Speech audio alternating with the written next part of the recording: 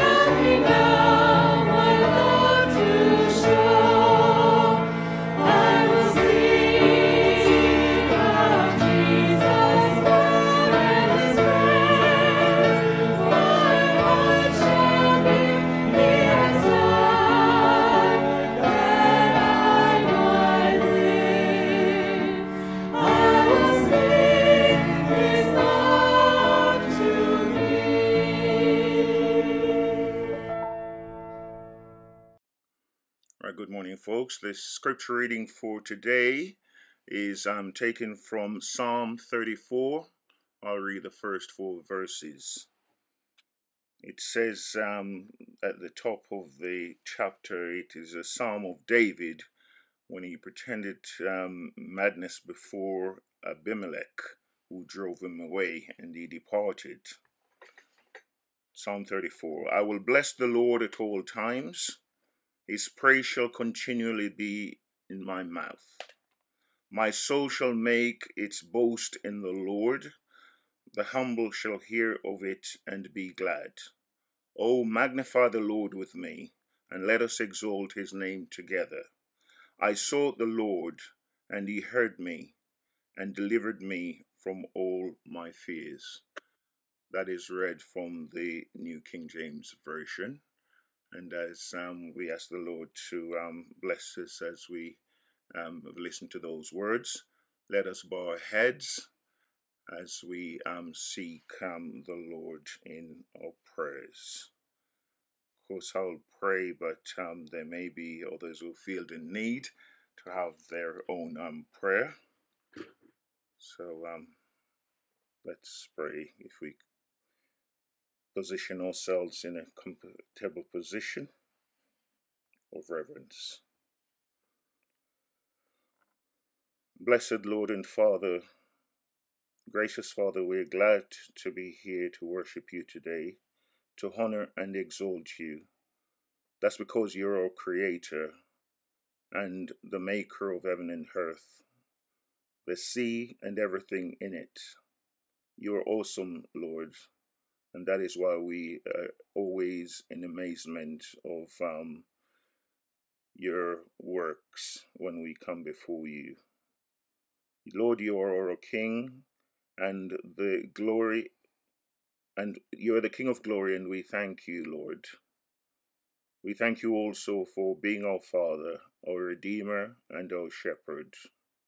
We thank you for loving us so much that you sent your Son, Jesus, to die so that we can live. We're thankful that the Holy Spirit is here also that will give us comfort and empowers us, Lord, so that we can be witnesses um, for you. We thank you for watching over us. We ask that we will praise you, Lord, for all the wondrous work that you've done and for as long as we breathe. Let us also, we pray, Lord, give us strength that we will continually praise you and we continue to have our hopes in you. Today, Lord, we come before you on this holy Sabbath day. Remember that it is the day you created, and it is a day of rest and gladness. Help us that as we worship and fellowship one with another, we will rejoice in you. Help us, Lord, in our weakness. Help us in our illnesses also. Sometimes we make poor judgments and we seek your forgiveness, Lord, for the wrongs that we have done. Lord, we believe you, we believe in your goodness, we believe in your powers. We ask you to shower us with your love and compassion. We ask you continue to be our refuge, our strength, our shield, our protector or protector from dangers, Lord, and all the um, things that um, we experience from day to day. As we listen to your servant today, we ask that we will be blessed and may his words be acceptable to our hearts. Lord, we ask you to hear our prayers. And um, if there is anything that we have failed to ask you for, we know you're a merciful Father. We know you're a merciful God. We ask you to grant your blessing unto us and help us that we may walk in your light always. I pray and ask these mercies in your name. Amen. Amen. Amen.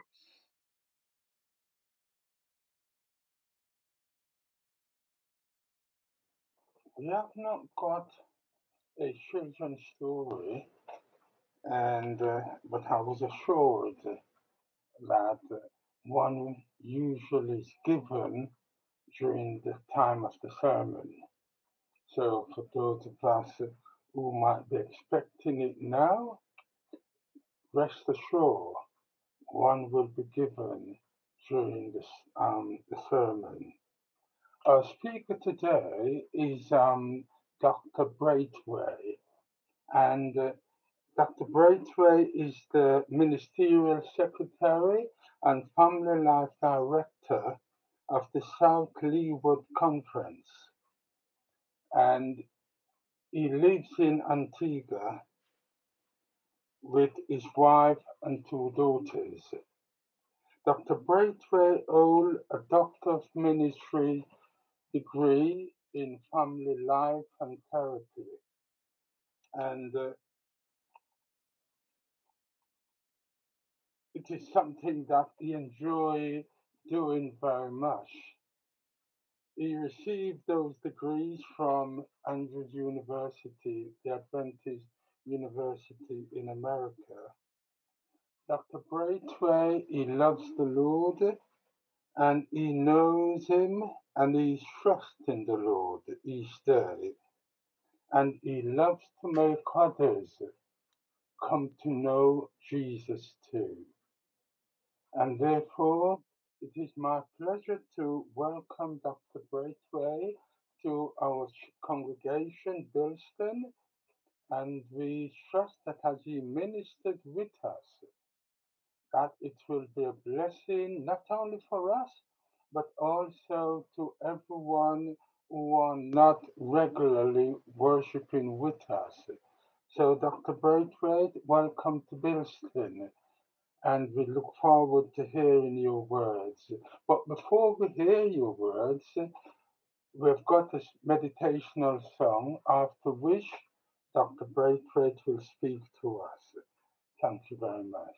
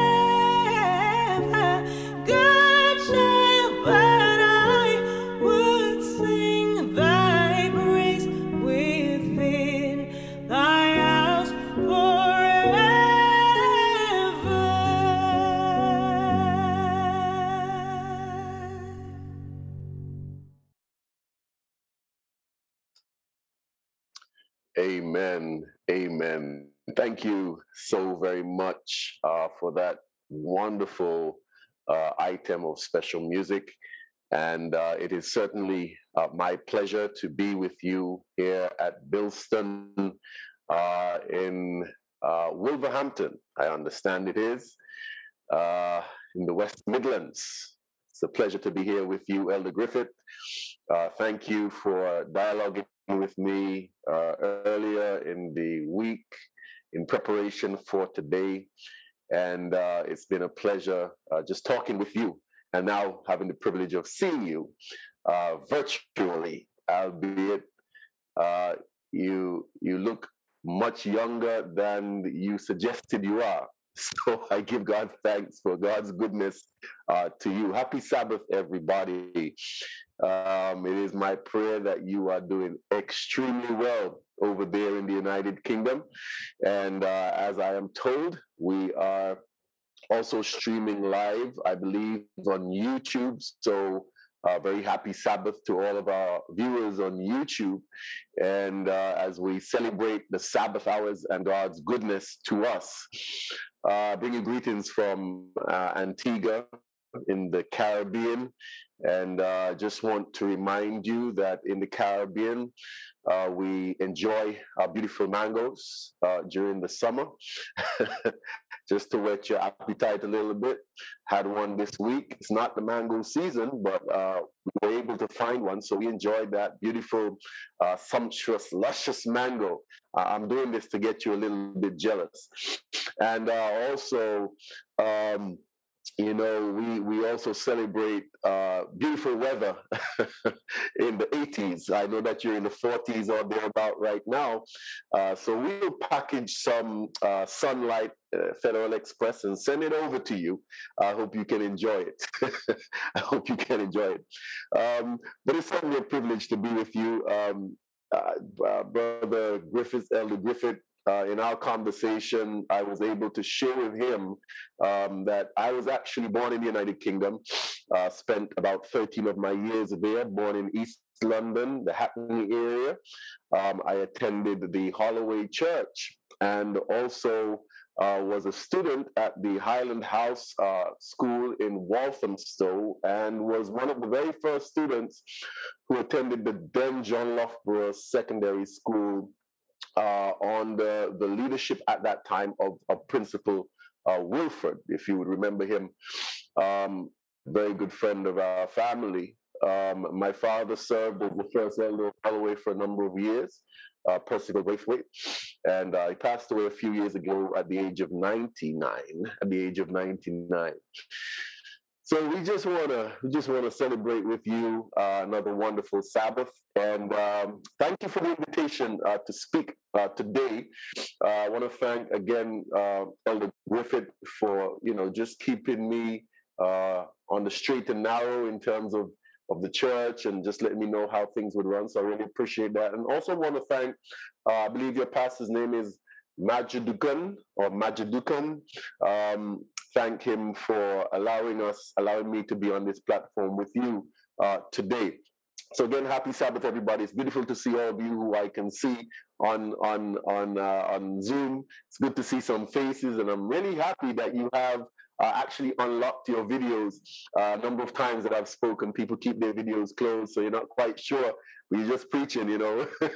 you're just preaching, and uh, you're trusting that the word is getting through. So, again, want to say thank you to that. Uh, Antigua, the South Leeward Conference, which I am a part, uh, is made up of five islands. It's Antigua and Barbuda, uh, St. Kitts and Nevis, and also Montserrat. Um, and that's our our conference. We have about 12,000 members.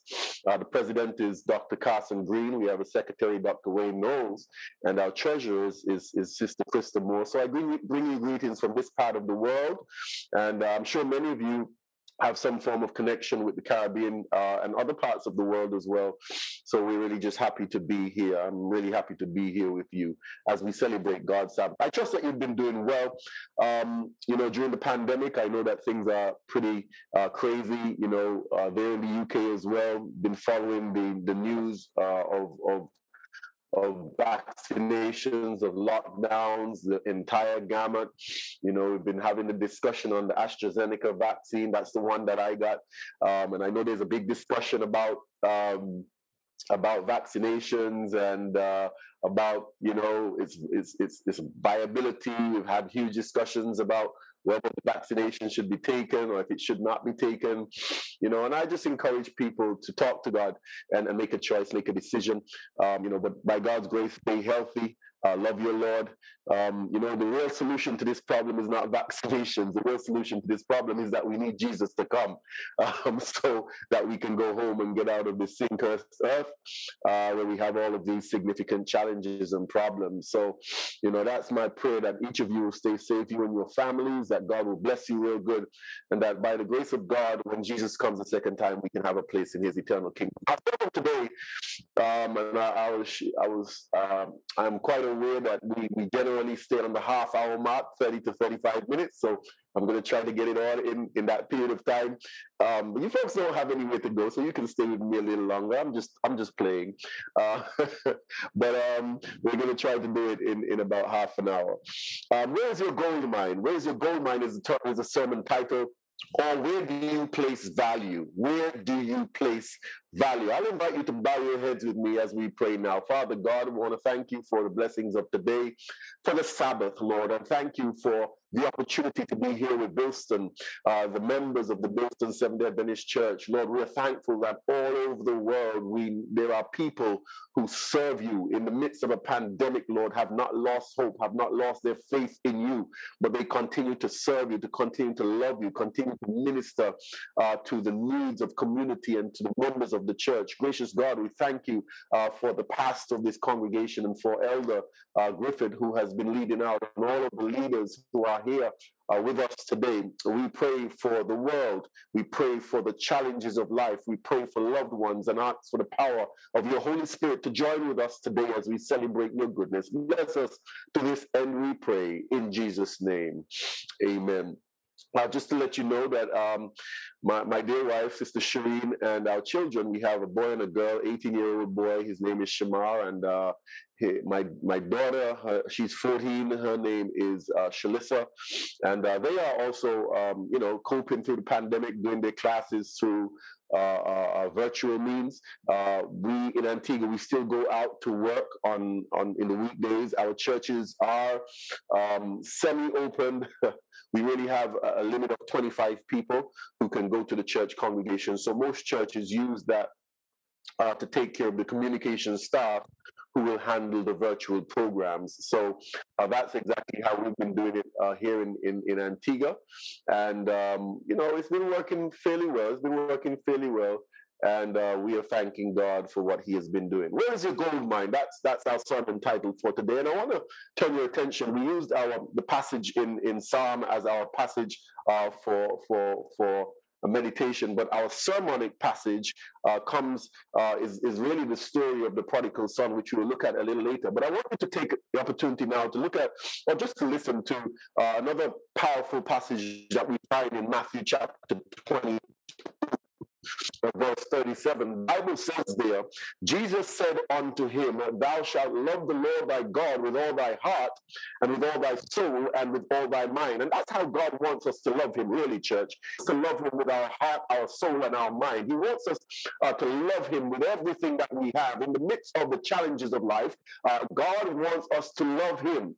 Um, even though you may be going through difficult circumstances, God wants you to love him. God, God has done so many things for us. He has, he has taken care of so many issues and so many matters uh, in our circumstances. I'm sure that so many of you today on this platform can testify of the goodness of God the goodness of God. And, and I believe that, that there are many testimonies about how good God has been to you and to your family in spite of the challenges, in spite of the crises. Uh, there is a reality that I like to say this way if you can inhale and if you can exhale, you have something to praise God about.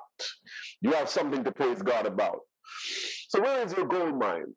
Let's begin this way. God has the highest, gold, I'm sorry, gold has the highest corrosion resistance of all of the metals, and it is corroded only by a mixture of nitric and hydrochloric acid.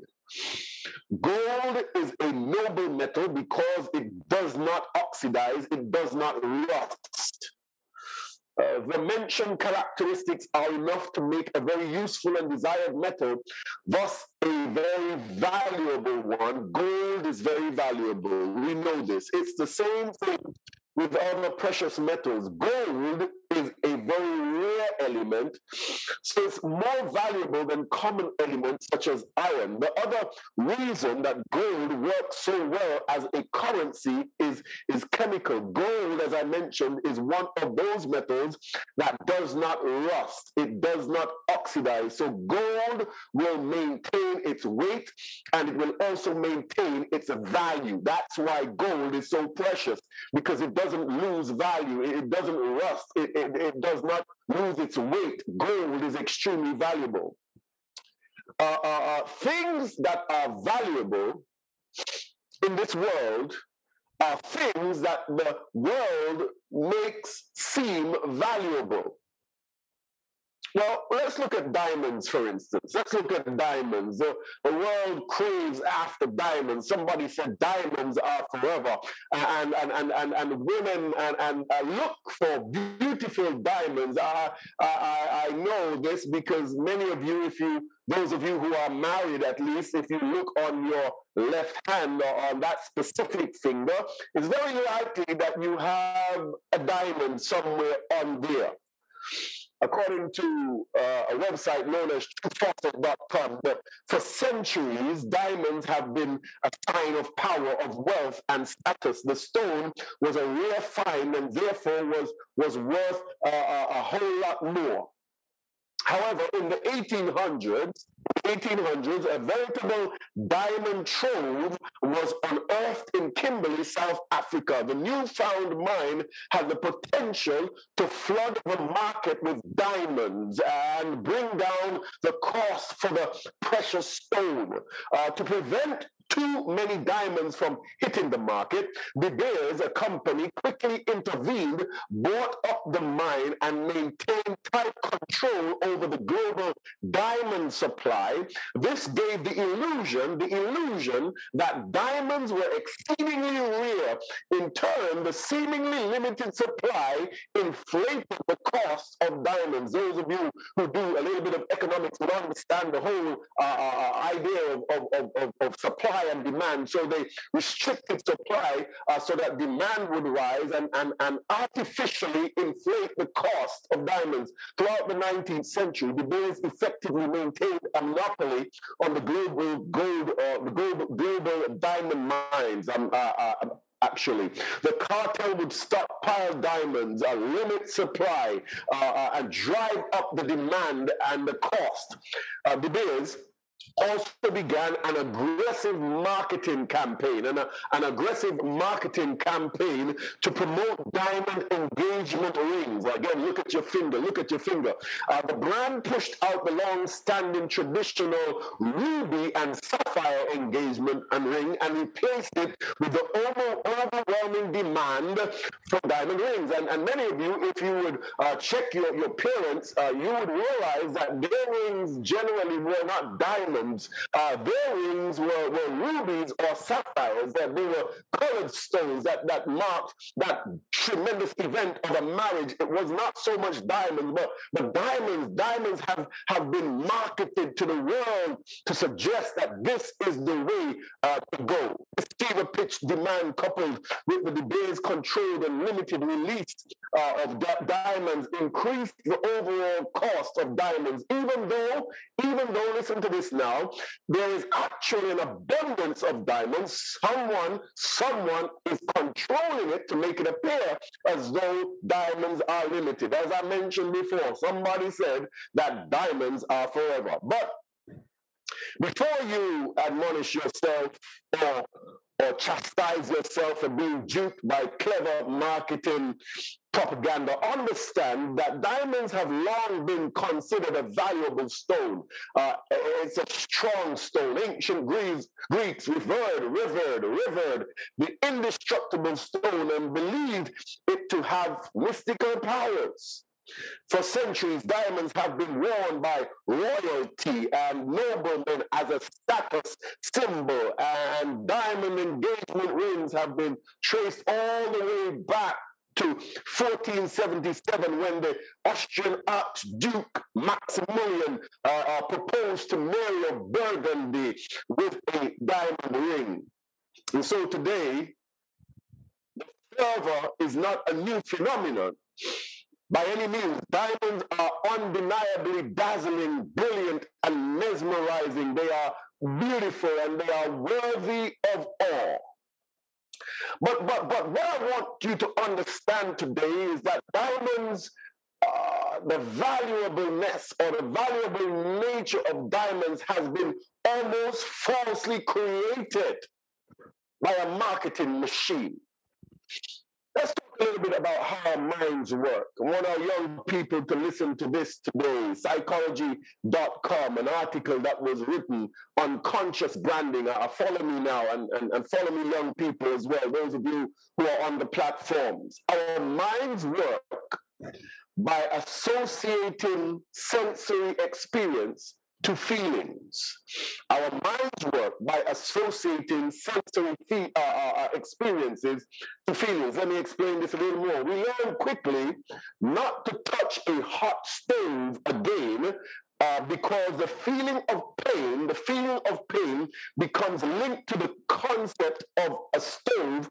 So a negative feeling uh, we do not soon forget. When you touch a hot stove, there is a sensory experience of heat that creates uh, some discomfort, and our minds does our mind will never forget that. But most of our memories become stored. Most of our sensory memories become stored. Uh, they become stored below our awareness at a level that is just a little bit below our our our our, our conscious levels, or it's stored in our unconscious minds.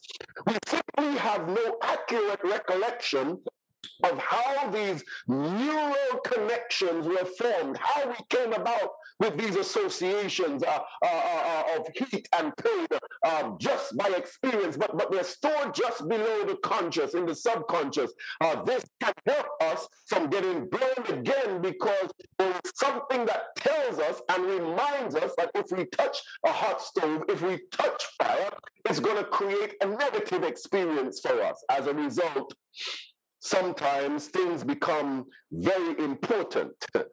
I want you to follow me a little bit here now.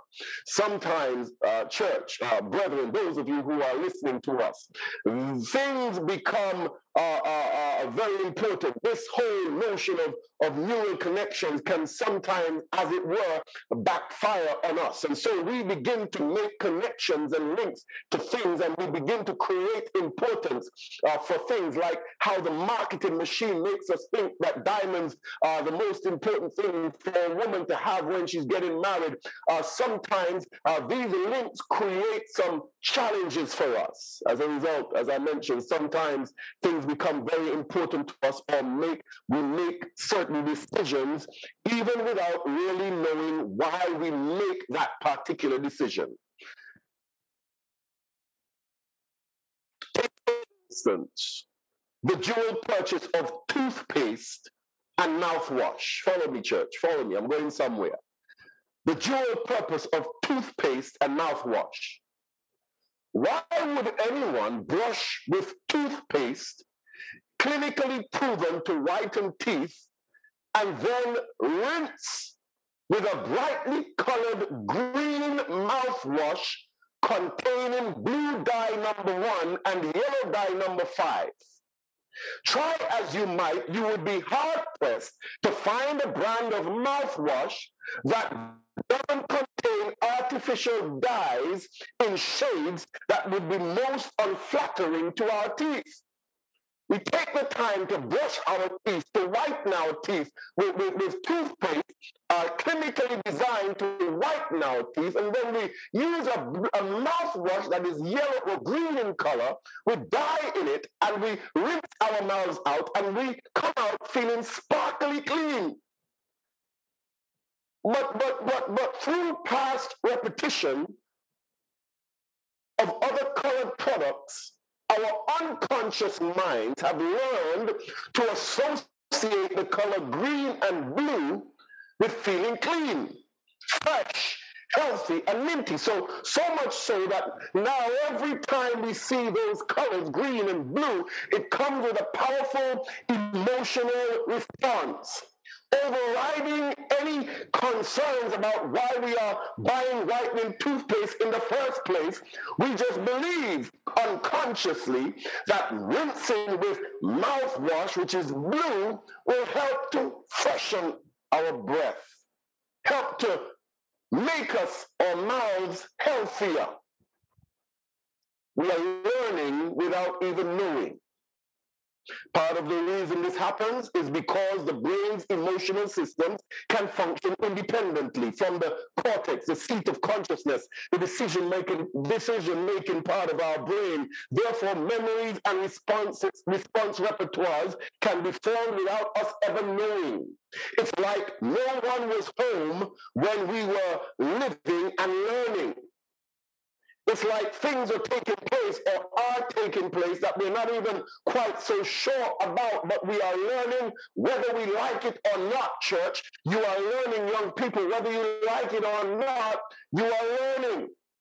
And so, as consumers, this experience can both negatively and positively predispose us to brand based unconscious associations through ads and slogans and mascots and design elements and, and brand properties. People may not really know why they love the brand that they love. Why do you love uh, uh, uh, uh buying a Gap or why do you love uh, buying uh, an Apple Watch? Why do you prefer to own a, a, a, Dell computer? Why, why do you prefer a Volkswagen car? Why do you prefer a Mercedes Benz? Why, why do you prefer a BMW? Uh, uh, why do you prefer uh, a particular brand from Primark? Why do you prefer these things? Uh, uh, there is a love that is created, a desire that is created without you even knowing it. the wise man Solomon said in, in, in, in Proverbs chapter 4 and verse 23, he said, Keep thy heart with all diligence, for out of it are the issues of life. Uh, uh, what I want you to understand here today, church, that we need to guard the, the avenues of our souls. Proverbs 4.23 from the Living Bible translation says, above all else, guard your affections, for they influence everything else in your life. Uh, uh what am I here saying? What am I here saying? Uh, uh, let me say it as Ellen White says it. She says, God well the avenues of your soul. Guard well the avenues of your soul. Church, what I want you to appreciate today is that the internet and, and, and the, the, the, the, the uh, cable television industry and the news media and the advertising industry, all of these things are aimed at causing us to develop desires for things that are worldly, are aimed at causing us to develop things that will, uh, uh ideas and, and practices that would take us away from God. What I'm here suggesting to us today is, church, we have to be careful about the things that we listen to, the things that we see, and the things that we that we hear. Uh, there was a little song, "Be careful, little eyes, what you see. Be careful, little ears, what you hear." Uh, uh, uh for there's a Father up above looking down in tender love. What I want you to appreciate as we look and as we consider this topic today, where is your gold mine? I want you to understand that, that, that the things that you uh, uh, will see as valuable in your life will be determined by what you allow to enter your psyche. So as we as we speak today, I want you to turn your attention to Luke chapter 15, 11 through the 32. Luke chapter 15, verses 11 through the 32. And this is the story of the prodigal son as I shared with you a little earlier. Here is where we are going to make the connection. There is your gold mine. I don't know what marketing this young man was exposed to, maybe on, on the internet or, or on WhatsApp or on Facebook. Uh, uh, uh, uh whatever it was that influenced him, this young man decided that he wanted to leave home for what he considered to be a better life. Uh, Bible commentators suggest that this story is an unprecedented story.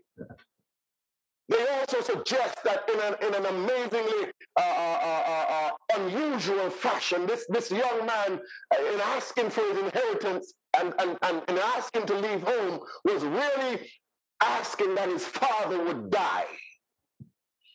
Uh, the original audience of, of Jesus would have been really losing their minds because, because for a son to do such a terrible thing would have really been worthy of death.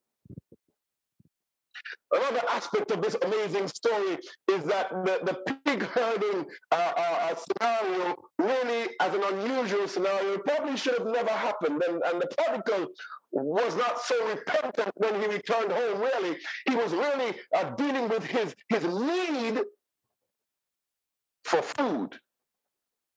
That's why he returned home. But, but out of the story, we can glean some powerful messages. The young man was home. He was influenced by something and he wanted to leave with his inheritance to go and enjoy life. The son believes that receiving his inheritance from the father represents what was valuable. That's the term, sermon title. Where's your gold mine? Oh, what is valuable? He valuable. I'm sorry. He believed that that leaving home and taking his inheritance was valuable. That's what he believed. He believed that leaving home with, with, with, with his inheritance and going into a far country would provide him with an avenue to his gold mine. It wasn't so much a challenge that he was leaving home, but leaving home also indicated that he was leaving the God of his father. There are things in, that, in this world that cause us to lose our connection with God. There are things that, that, that entice us. There are things that draw us away from God. This young man was leaving home. Too many people leave home and leave Jesus in an attempt to find their gold mine and end up with absolutely nothing. Uh, in, in the Caribbean, I don't know if you know the game warri, but in the Caribbean, we say when you play warri with God, you will end up with no seed, meaning that you will end up with nothing. When you play with God, you, you end up losing out because, because uh, serving God is the best thing that we can do.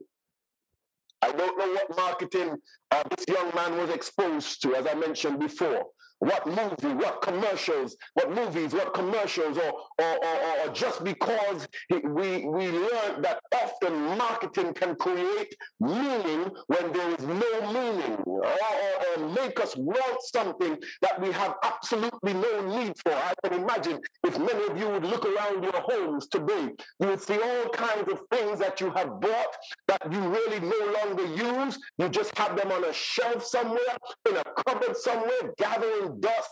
The marketing machines have caused you to buy all kinds of gadgets, all kinds of little uh, uh, uh, things that you placed all over your house that you no longer have need for, and you won't throw them out because you paid money for them. But, but that is what marketing does, and that is what has happened to this young man. He has left home, gone into a far country because he believed that that that what he was going after was so valuable.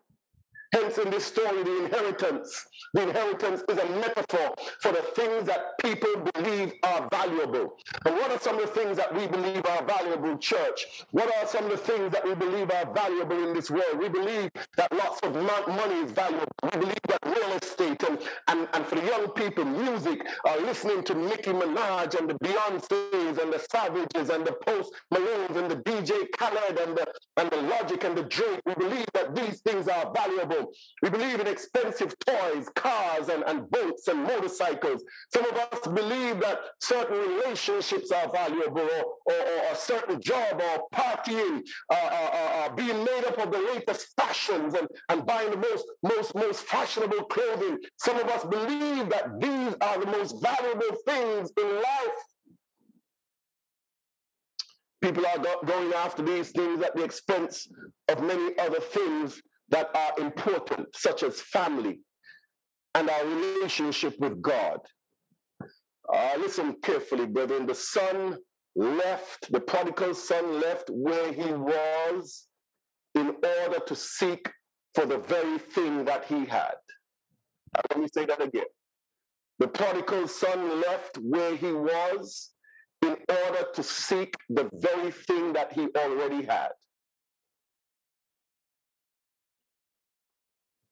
Gopal Das says, whether you drive a Volkswagen or you drive a Bentley, the road remains the same, wasn't it?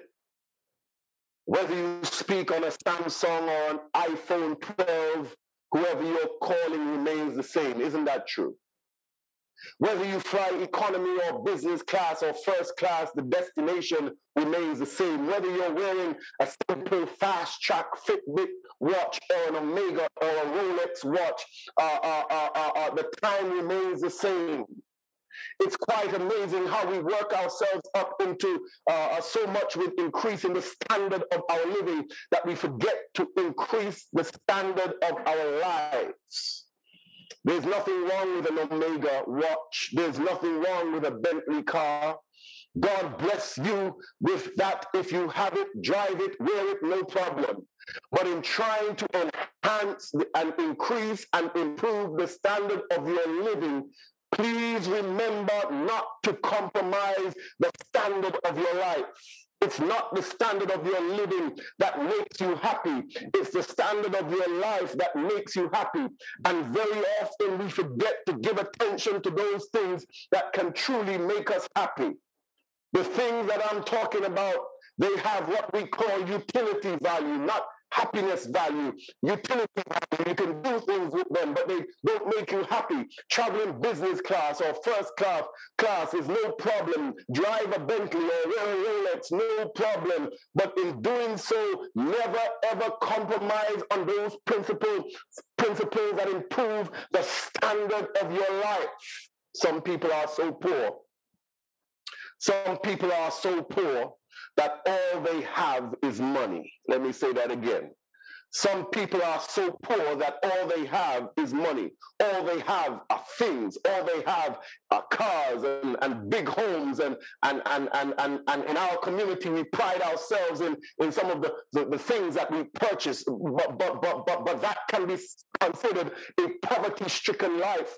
If all you have are things, if all you have is money, you are the poorest person in the entire world because there is more to life than things. There's more to life than money. Uh, uh, uh, there's more to life than what we can buy or what we can own. So many of us spend so much time trying to acquire the things of life and, and, and giving away our, our relationship with God for things. And, and, and even during difficult moments, oftentimes we, we fail to connect with God because we believe that there's something out there that may be more valuable. We can all uh, tell people who have left God's church and have, have left community, have left the friendships because they wanted to enjoy other things. But I am here to declare today that the most important thing that we can ever have is a relationship with the Lord Jesus Christ. If you really want to know how rich you are, shed a tear and see how many hands will come to, to wipe that tear from, from your eye. Our happiness and our increased standard of life is not the thing that, that, that, that we really need. We need to really understand that what's most important is, is relationships and particularly a relationship with the Lord Jesus Christ and friends of mine, this young man left what he had a relationship with his family and a relationship with God to go after the things of this world. And, and some people in, in this pandemic experience, I have listened to some people who uh, have suggested that, that this pandemic is, is more than they can manage. It's like the straw that broke the camel's back for them. They are under the, the, the guise, they suggest, of happiness, but they're not truly happy because they could not have gone off after the things of, of this world. They, they, they felt as though they were being kept back. And now that the pandemic has struck, they have nothing to hold on to because, because they want to go after the things of life. But the things of life have now failed them. When you are locked down and locked in, it, it, really causes you to have to think about what's really meaningful in life. You can have beautiful things. You have nobody to invite to your home to see them. You can have a beautiful car, but you have nowhere to go because the whole world is on You, you can enjoy and, and, and, and have all of these lovely things, but, but, but you begin to understand that in the context of living, all of these things can be taken away from you in a moment, in the twinkling of an eye, and, and, and what is left is only the relationship that you have with loved ones and the relationship that you have with the Lord Jesus Christ. So many families have been torn apart by the brokenness and, and, and desire to gain things. So many children have been left fatherless and motherless. So many husbands have been left without a wife. So many wives without a husband because people have been chasing after the things of this world, chasing after diamonds, chasing after gold, chasing after uh, big flat screen TVs, chasing after uh, beautiful cars, chasing after even a good college education, which is a good thing, but can sometimes take away the valuable things that we need in life. So many people uh, have lost a relationship with their children because they always have to go to work to make the extra dollar, to make the extra penny, to make the extra pound so that they can buy something else. I, I, I, I want you to understand today, church, that, that our gold mine is not found in things. Things of value are not found in the things of the world. But what is critical is a relationship with Jesus Christ. That's where we can find value. So I leave you today with this story. The Acres of Diamonds story, a true one, is told of an African farmer who heard tales about other farmers who had made millions by discovering diamond mines. Those tales so excited the farmer that he could hardly wait to sell his farm and to go prospecting for diamonds himself. He sold the farm and spent the rest of his life wandering the African continent, searching unsuccessfully for the gleaming gems that brought such high prices on the markets of the world. Finally, worn out and in a fit of despondency, he threw himself into a river and drowned. Meanwhile, the man who had bought his farm happened to be crossing the small stream, the small stream on the property one day when suddenly there was a bright flash of blue and red light uh, from the stream's bottom. He bent down and picked up a stone. Uh, it was a good sized stone, and admiring it, he brought it home and put it on his fireplace mantelpiece as an interesting curiosity. Several weeks later, a visitor picked up the stone, looked curiously at it, lifted, hefted it in his hand, uh, and nearly fainted. He asked the farmer if he knew what he had found. When the farmer said no, that he thought it was just a piece of crystal, the visitor told him he had found one of the largest diamonds ever discovered. The farmer had trouble believing that. He, he told the man that his creek, listen to this, his creek was full of such stones, not all as large as the one on the mantle, but sprinkled generously throughout the entire creek's bottom were these beautiful stones. The farm the first farmer had sold. The farm the first farmer had sold so that he might find a diamond mine turned out to be one of the most productive diamond mines on the entire African continent. The first farmer had owned free and clear acres of diamonds, but he had sold them for practically nothing in order to look for them somewhere else. The moral is clear. If the first farmer had only taken the time to study and prepare himself to learn what diamonds look like in the rough state, to thoroughly explore the property he had before looking elsewhere, all of his wild, wildest dreams would have come true. Before you go running off, church, Young people, before you go running off to what you think are greener pastures, make sure that your own is not just as green or even greener than the pastures of somebody else. It has been said that if the other person's pasture appears to be greener than ours, it is quite possible that the other person's pasture is getting better care. Take care of your spiritual life. Take care of your relationship with the Lord Jesus Christ. Because if you do not understand what God is doing for you, you will be tempted to run looking for the very thing that you already have. You will be tempted to give up your acres of diamond for nothing and to go looking, and maybe in your looking, you might die looking when you had it in your very grasp.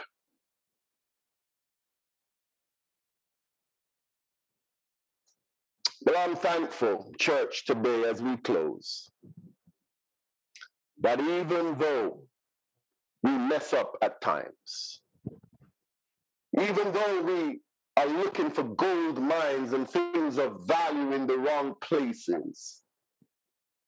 Even though, like the prodigal son, we would ask for our inheritance and go into a far country and church, don't think that this prodigal son is so different from us. We think because we're in the church and we're serving in the church that we're okay. Well, there's another side to the prodigal son story about the boy that stayed at home, who was the prodigal at home. Some of us, we are in church, but we are just as drawn away from God as those who are not in church. We can be looking in the wrong places even while we are at church, in church, involved in church. Sometimes we still do not have our connection with Jesus Christ in the way that it ought to be. But I'm thankful today that in spite of our brokenness, God still comes looking after us. And so it is that this prodigal son recognized his the error of his ways and one day he decided, he said, you know what? I would be better in my father's house as a servant than in this. Let me go home. Let me go home. And the beauty of this story is that this young man's father had always been looking out for his return. God is always looking out for us to come back home. Somebody say amen out here. God is always looking for us to come back home. As we close, for an elderly man to run in his culture was extremely unusual and very humiliating. I started to write simply that great men never run in public. Big men never run in public. You hardly see an adult man, maybe the age of Brother Griffiths, hardly see a man like you running unless you're exercising. Yet the father runs, and not just because he is filled with compassion. In that culture, a Jewish son who lost his inheritance among Gentiles would have been subject to a ceremony on his return to the village called the Kezazah, in which the villagers would have broken large pots at his feet and yelled at him. Uh, uh, that was to sh- show their displeasure. They would have cut him off from the society. And so when the father runs, it's at least partly because he wants to reach his son before the rest of the village can embarrass him. Church, I'm thankful today that when we come back home to Jesus, Jesus does everything to prevent us from being embarrassed. Like this father who ran to his son before the villagers could see him, before they could embarrass him, before they could say negative things about him. The father ran for him and grabbed him and took him home and threw a party for him. Oh, church, even though we mess up at times, even though we, we, we are looking in the wrong places for what's valuable, even though we are looking in the wrong places for, for our gold mines, I want you to know that our gold mine is found in Jesus. And once we are ready to come back to Him, He's always open, standing with open arms to receive us back. He wants us back. He runs to us. He grabs us. He throws a party for us. And it's not just those who have left the church who need to come back to Jesus. There are lots of people in church who need to confess the error of their ways, of our ways, and, and come back to Jesus in a way that would cause us to really have established a place in his kingdom. Today, church at Bilston, my prayer is that we will understand that our gold mine, the things of value, are not found in the things of this world, not in the things that we can acquire, but our gold mine is found in Jesus. Somebody say amen. Our gold mine is found in Jesus. Somebody say hallelujah. Won't somebody say hallelujah out there? Our gold mine is found in our relationship with the Lord Jesus Christ. And even though you may have messed up, Jesus is waiting with open arms, open arms to receive you back. Or is there somebody today who wants to say, Lord Jesus, just help me, just help me, just help me. Help me, Lord, to be closer drawn to you. Help me not to be distracted by the advertising of this world. Help me, Lord, not to be distracted by the glittery things of this world. Help me, Lord, not to lose my connection with you because I can be prodigal right here in the church. Help me to understand the error of my ways. Help me, Lord, to, to overcome my, my idiosyncrasies, that, that habit of anger that I have deep down in my soul. That, that arrogance that I possess, Lord, help me, Jesus. Lord, that, that narcissistic personality that I possess, Lord, help me. That unforgiving spirit, Lord, help me in the midst of, of, of, of, of all the things that I'm, I'm proposing in relationship to my Christianity, Lord, you know that on the outside I might look one way, but on the inside I'm struggling with issues. Ah, will you present those issues to Jesus today? Uh, now we are wearing masks. it's amazing because all around the world, long before we were wearing physical masks, people were wearing emotional masks, hiding their emotions, hiding what's going on deep down inside of them. But with Jesus in the vessel, we can smile at the storm. We can put everything in the hands of Jesus. We can ask Jesus to take care of our brokenness, of our hurt. Some of us are bringing hurts from our homes of origin. We're bringing hurts from, from how, how we were uh, uh, uh, treated as children. Some of us are bringing hurts from the brokenness of our own homes and from our family brokenness. Some of us are bringing hurts from, from situations with our husbands and our spouses where we have all kinds of hurts. But I want you to know that Jesus paid it all. All to him I owe. He can do something for you today. And so today, as we close, where is your gold mine today? By the grace of God, my gold mine is found in the man Christ Jesus. Is that the same with you today? If you just want to say, Jesus, I want you to keep it clear to me that my gold mine is in you, will you just bow your heads with me as we pray? Father, we thank you for the Bilston congregation. We thank you, Lord, that, that we can put our trust in you. We thank you, God, that you have already given us everything that we need to be successful in our Christian walk. Lord, help us never to lose sight like the prodigal son lost sight, where he went into a far country. Uh, uh, uh, he was tempted and, and encouraged by the advertising of the world, Lord, that things outside are better than things on the inside. Lord, he was, sorry, Lord, he was he was overcome by what the world had to offer. But today, gracious Father, today, gracious Father, help us to stay focused on Jesus Christ. Help us, Lord, to understand that in you we have a gold mine. We have everything that we need. We have everything that is valuable in you, Jesus. As folks bow their heads today, may somebody recognize their need to return to Jesus, who is the author and finisher of our faith. Father God, we thank you for your word. We thank you for the things that we can glean from the word of God. And may our lives today never be the same because we have found our gold mine in Jesus. Thank you, God, for hearing our prayer as we press on the upward way, gaining new heights every day. May our hearts onward bound and may we be planted on higher ground is our prayer. In Jesus' name, let everyone say, Amen and Amen. God bless you, Amen. everybody. Amen. Amen. Amen. Thank you, Pastor Braithwaite, for your sermon and your message. And the two things that we gathered from it is uh, one to the young people that the things of this world hmm. will not give you satisfaction nor fulfillment. And for us adults, that we should learn to trust in God and not to chase after the things of this world. So we thank you very much for that message that you have given to us today. And we pray that as you continue to work for the Lord, that He will use you to bring His message across, not just in Antigua, the Caribbean, but everywhere that you may go. And uh, we ask God to continue to bless you and your family.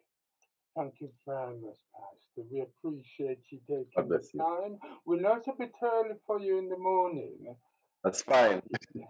but I That's must right. admit, I must admit, the timing of the morning did not reduce your enthusiasm. No, sir. You're as energetic as you normally would be. So thank you very much Amen. Message of comfort and Amen. hope to all of us. God bless Alright. you. God bless you. God bless you all richly. May God continue to prosper you and bless you as you remember that your gold mine is found in Jesus. Amen. Amen. Praise the Amen. Lord. And for Amen. that, we're going to close our service with the use of hymn 625. Our next hymn is 625 Higher Ground.